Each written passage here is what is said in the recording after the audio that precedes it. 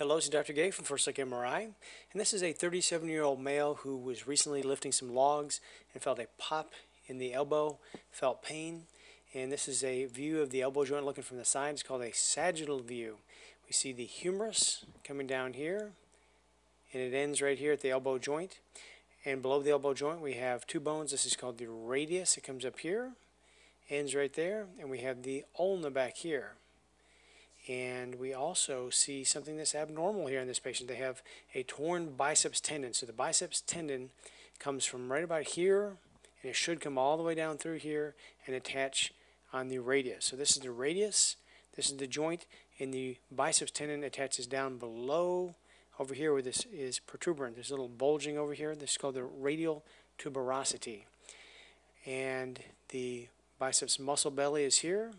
There's a big muscle underneath called the brachialis muscle, and this is the biceps muscle. And the biceps muscle usually sits a little bit lower, but is recoiled and contracted, or the, the muscle belly is retra retracted and the tendon is recoiled backwards here a little bit.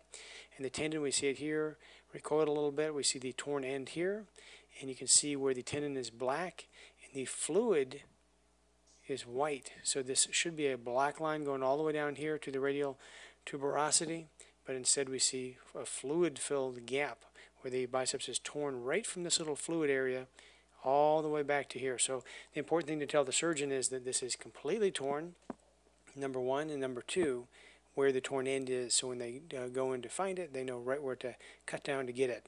And also they need to know if the muscle is torn um, or if the muscle is intact.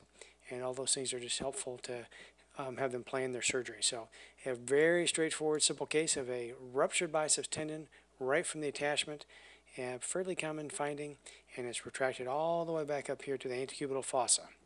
And a lot of times we see these the biceps tendon is still partially attached down here, and it's just foggy and partially torn. Those are pretty difficult sometimes to decide how much is holding on.